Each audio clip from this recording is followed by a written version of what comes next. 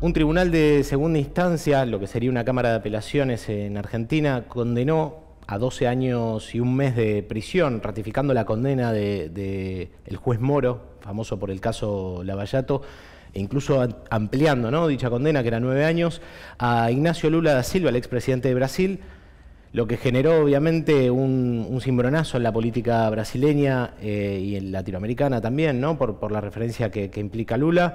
Eh, para aclarar un poco la cuestión y que, nos haga un análisis del caso y, de las implicancias que puede tener, nos acompaña Martínez Chapiro. Martínez, abogado y analista internacional. Gracias por venir, Martín. Gracias por la invitación. Por favor. Martín, ¿nos podés hacer un breve repaso de qué trata ¿no? esta causa que, lo trajo a Lula ayer a juicio y que, le lo llevó a esta condena?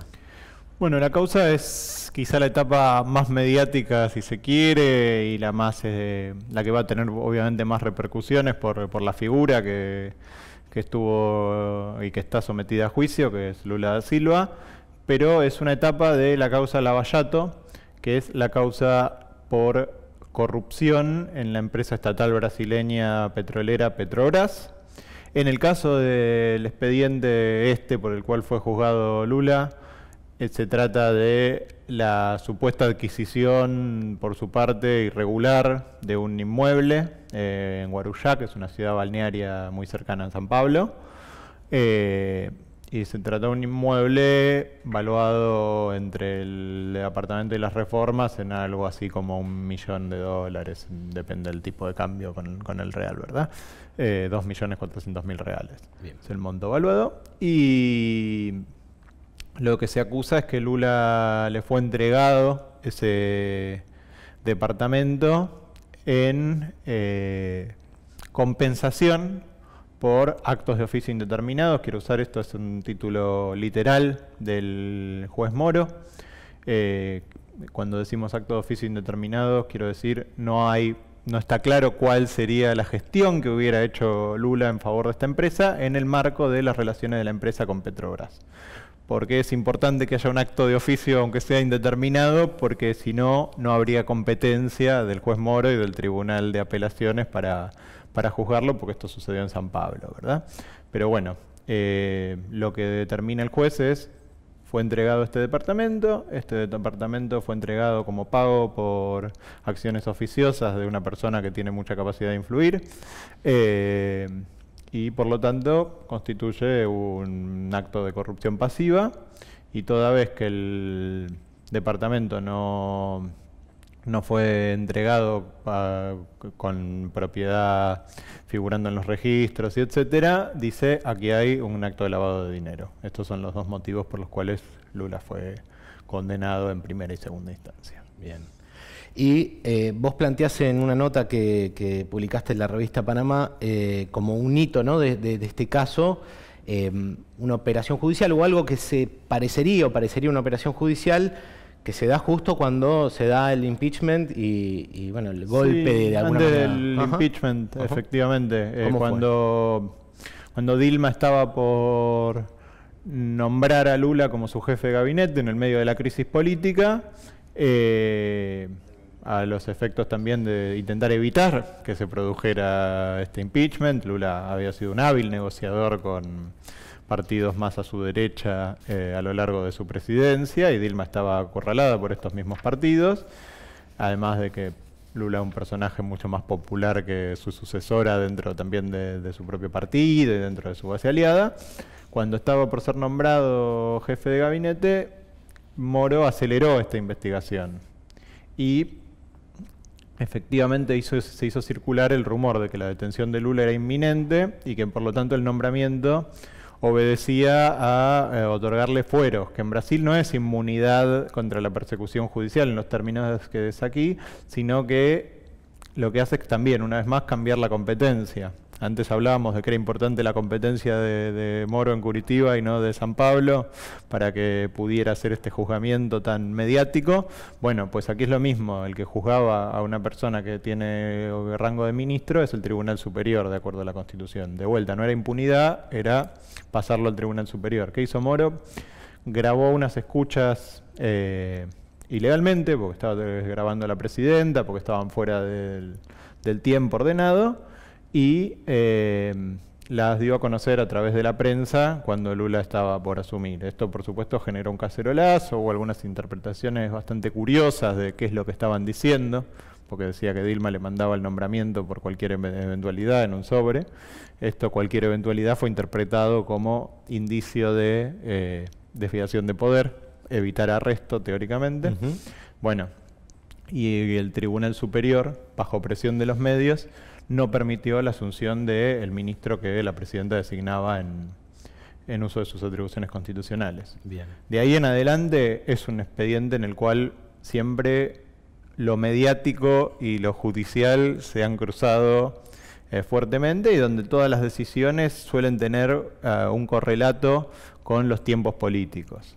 Digo, esta decisión se adelantó mucho respecto de los tiempos habituales, entre otras cosas, para evitar que Lula esté en campaña. Estamos en vacaciones, antes de carnaval, momento en que los brasileños están en otra cosa, pero lo que tenemos es que Lula era el candidato eh, que más medía por lejos en las encuestas de cara a la presidencia en 2018, el que tenía la imagen negativa más baja, curiosamente, entre los importantes, y efectivamente en todos los escenarios de balotaje que estaban medidos, Lula probablemente se, hacía con la presidencia nuevamente. Bien.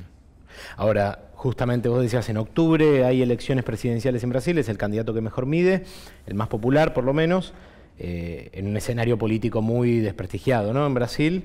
Eh, ¿Crees que se bancaría la, democracia o el sistema democrático, el, sistema partidario brasilero, no tener a Lula como candidato? ¿Crees que eso es posible? ¿Cómo, cómo lo entendés?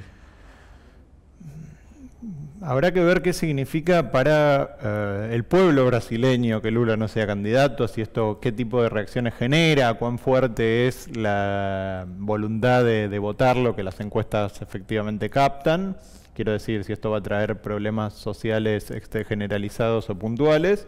Ahora, cuando hablamos del sistema partidario y del sistema político brasileño, en el cual además también hay empresas, medios, jueces, etcétera, eh, resulta difícil pensar cómo se bancarían a Lula siendo candidato dentro de ese sistema. De vuelta a volver al sistema de acuerdos una vez que eh, la presidenta eh, electa fue destituida por, por la Cámara de Diputados y Senadores eh, de un modo, si se quiere, muy, muy poco claro en cuanto a la caracterización de crímenes y delitos de responsabilidad que, le atribuyeron, eh, en el marco en el cual Lula fue condenado con pruebas bastante endebles, un expresidente, el primer expresidente en la historia de, Brasil, eh, no parece que las condiciones del sistema político sean las que, las que daban lugar a una elección con todos los candidatos eh,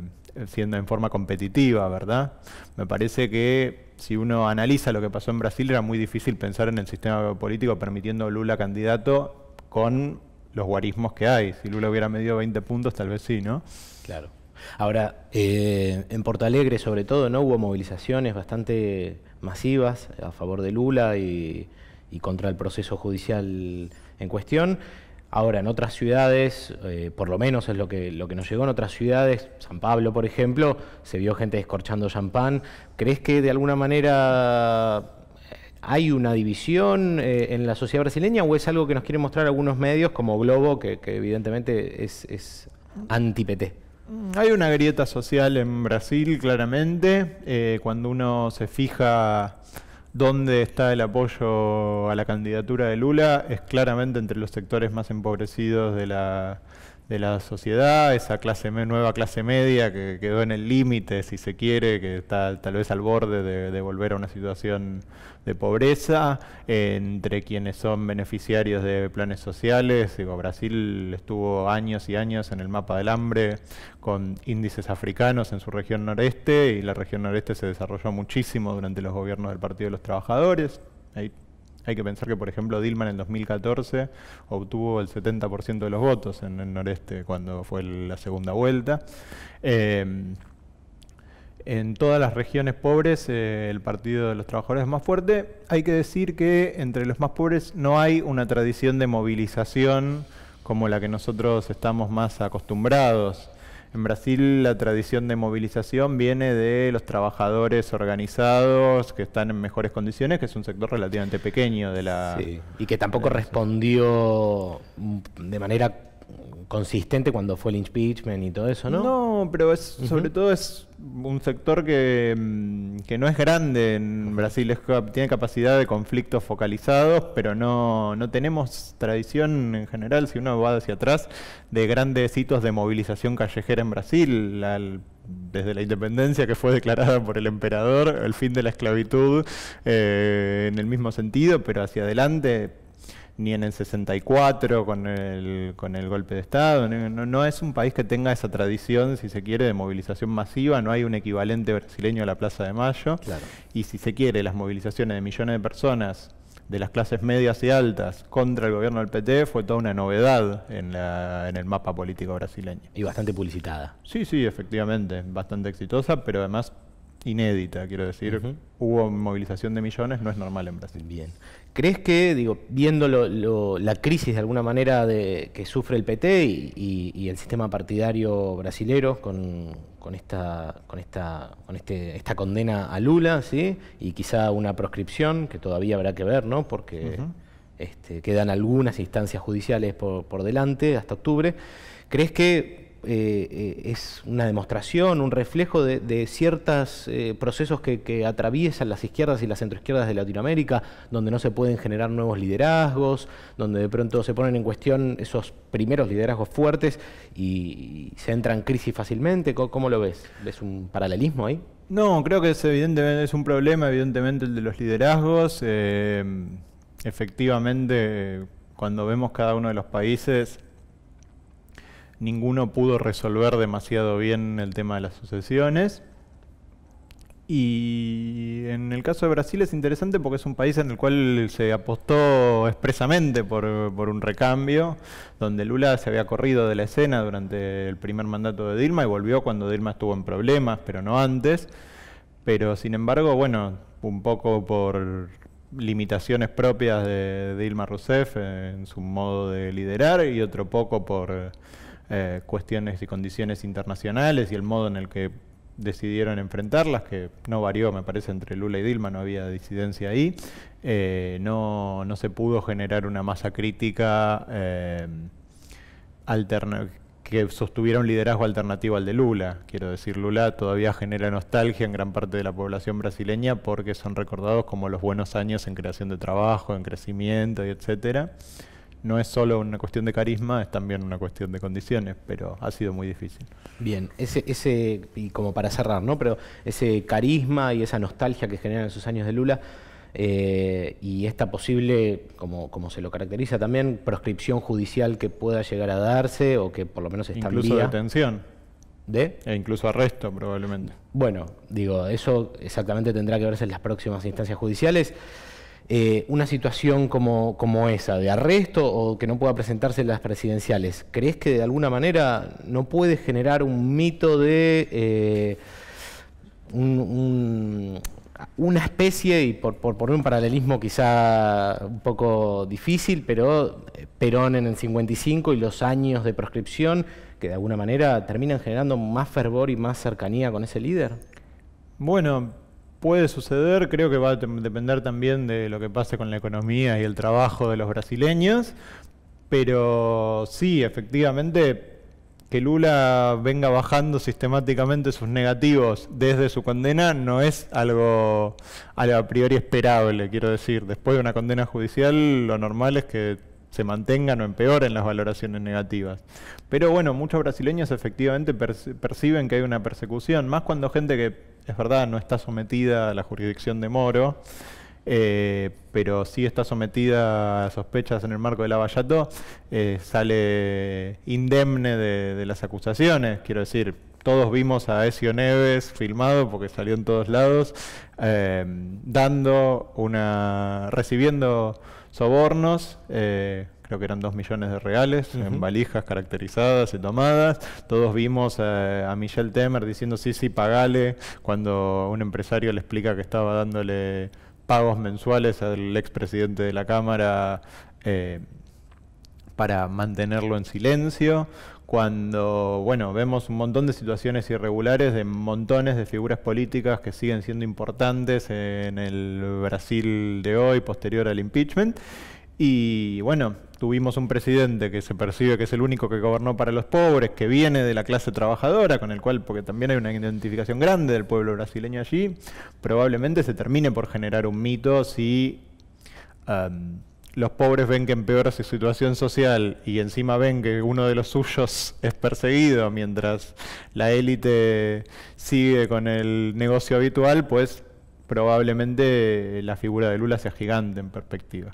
Martínez Chapiro, abogado, analista internacional, muchas gracias por acompañarnos y darnos un poco cuenta de, de lo que está pasando en Brasil. Bueno, muchas gracias por la invitación y a disposición para cuando gusten.